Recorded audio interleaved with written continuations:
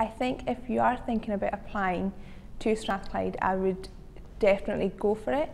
I think it's a really good place to then study the course because you're able to practice everything on a safe platform and then everyone is super helpful, the staff, um, your peers, tutors, everyone.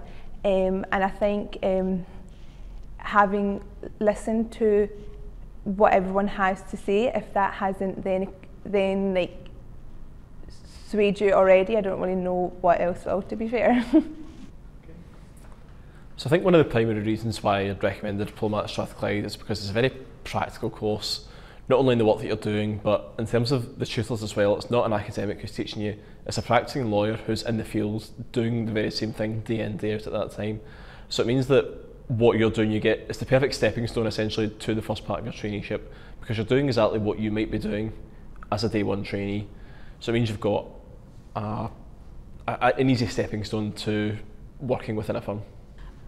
One of the reasons why I would recommend Strathclyde uh, to do your diploma is the way that the course is structured.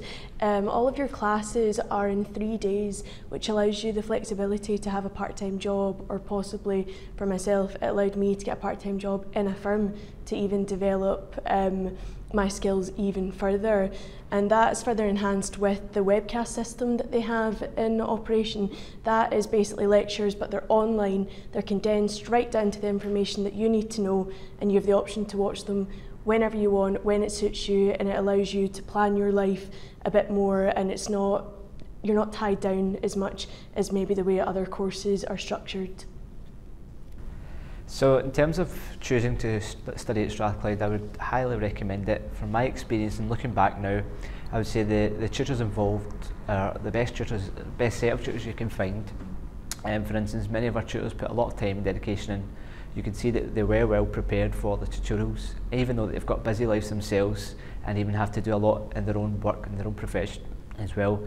Um, and on top of that, certain classes, certain electives that they've got in Strathclyde are really suitable in terms of you want to do corporate work, uh, you've got family business and you've got company law, for instance. That's what I did myself. And in these electives in particular, it was really great, for instance, in family business, where they actually got a family run business and the members of that family in to do a talk one day. And, uh, and also one of the tutorials as well, we went to our tutor's firm and sat in the boardroom for the whole tutorial as well, which was outside of the university. So for me, um, something like that is really good and distinguishes Strathclyde from you know, the other universities? One of the main reasons is that the, the you know the caliber of the teaching staff it's it's so high.